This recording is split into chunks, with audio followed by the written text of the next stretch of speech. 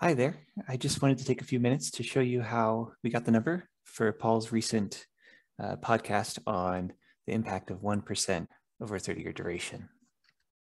So we navigate to the lifetime investment calculator, scroll down to the calculator itself and make that full screen. Uh, you'll see the default values uh, of the parameters on the right-hand side here.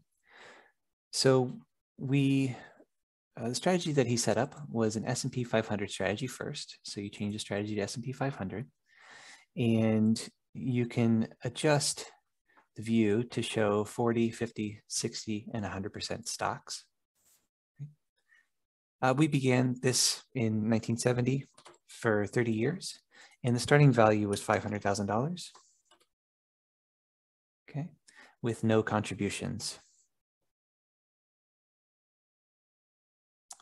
And we assumed a withdrawal rate of 4% of the portfolio value starting in year one for 30 years.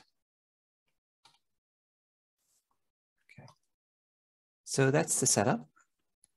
And you can follow along if you wanted to open up uh, and adjust the numbers. You can see here the, the numbers that he cites in the podcast at the bottom.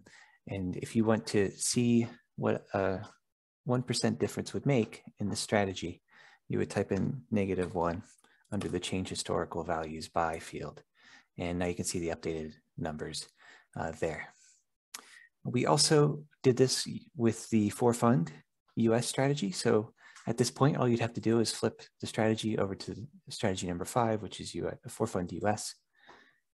And you can see how that plays out over time uh, minus 1 historical return. And if you switch that back to zero, then you can see uh, the return based off of the data that, uh, the, the sequence of returns that took place.